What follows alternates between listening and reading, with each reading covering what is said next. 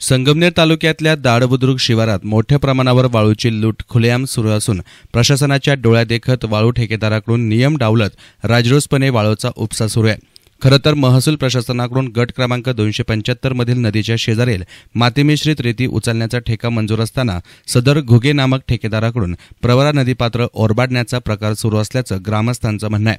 सदर ठेका हा सत्तावीस जुलैपर्यंत असून गट क्रमांक दोनशे पंच्याहत्तर सोडून सदर ठेकेदाराकडून दुसऱ्या गटात घुसून नदीपात्रातून तब्बल पाचशे ट्रॅक्टर आणि जेसीबीच्या सहाय्यानं वाळू उपसा सुरू असल्याचा धक्कादायक प्रकार या व्हिडिओमध्ये समोर आलाय.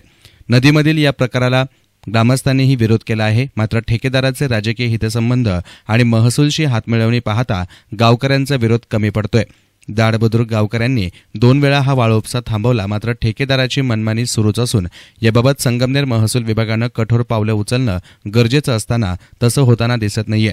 यात आता थेट जिल्हाधिकाऱ्यांनीच लक्ष घालावं तसेच कर्तव्यदक्ष जिल्हा पोलीस अधीक्षक इशू सिंधू यांनीही कारवाईचा बडगा उगारावा अशी मागणी सर्वसामान्य ग्रामस्थ करत आहेत bureau report S N media Sangamner